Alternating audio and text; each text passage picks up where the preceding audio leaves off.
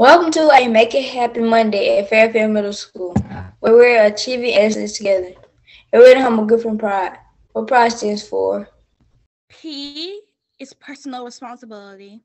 R, respect. I, individual readiness. D, demonstrated learning. And E, effective behaviors.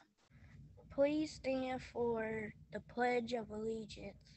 I pledge allegiance to the flag of the United States of America and to the republic for which it stands, one nation, under God, indivisible, with liberty and justice for all.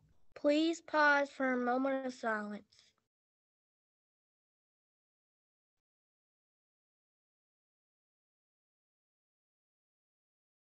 Thank you. You may be seated. The curative word for the month of December is compassion. Compassion is defined as a deep awareness for the suffering of another, coupled with the desire to relieve their suffering. Albert Schweitzer once said, The purpose of human life is to serve and show compassion and the will to help others. The career cluster for the month of December is government and public administration.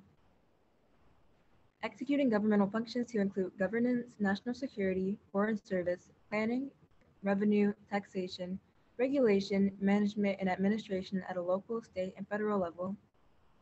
Some interests related to government and public administration are participating in a debate or on a debate team, researching and writing grants, learning and speaking a foreign language, making speeches, running for class or club office, volunteering as a legislative aide, volunteering for school board slash town positions, campaigning for political candidates.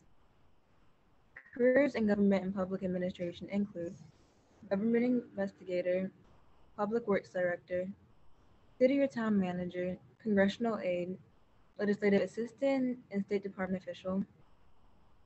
Suggested careers for high school courses to if you would like a career in government or public administration are accounting, business law, business management, law and justice, foreign languages, sociology, psychology, English, statistics, and digital literacy. Announcements. Academic Challenge will have practice today after school from 3.45 to 4.30 in room 205. If you have not done so, please turn in permission form as soon as possible in order to participate.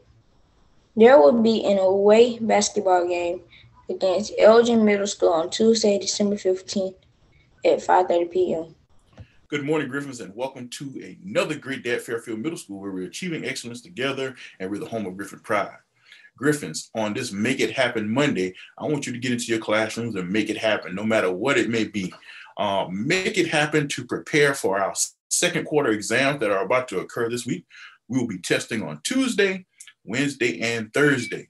On Tuesday, you will take exams for first and second block. On Wednesday, you will take exams for third and fourth block. And then on Thursday, you will take exams for fifth block. Students, go ahead and prepare um, to do your best. Don't stress over it, but just prepare. Um, if you prepare to do well, then you will most definitely do your best.